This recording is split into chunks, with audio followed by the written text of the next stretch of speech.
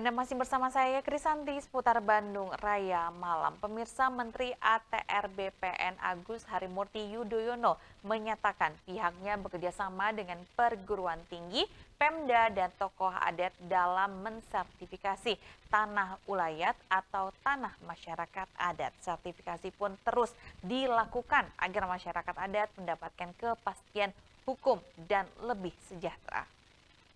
Menurut Menteri ATR BPN Agus Harimurti Yudhoyono atau AHY, pihaknya terus berupaya mensertifikasi tanah ulayat atau tanah masyarakat adat di seluruh Indonesia.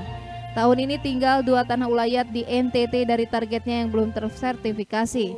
Sertifikasi dilakukan bekerja sama dengan berbagai pihak di antaranya perguruan tinggi, pemerintah daerah, dan tokoh adat.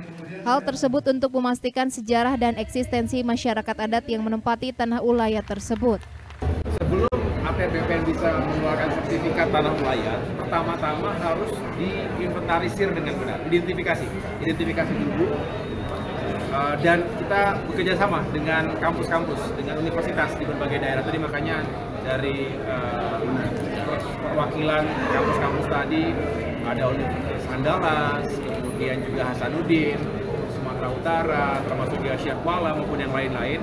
Sertifikasi tanah ulayat terus dilakukan agar semua masyarakat di Indonesia mendapatkan kepastian hukum dan hidup mereka lebih sejahtera.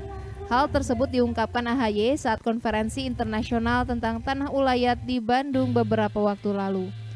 Budi Hartati, Bandung TV.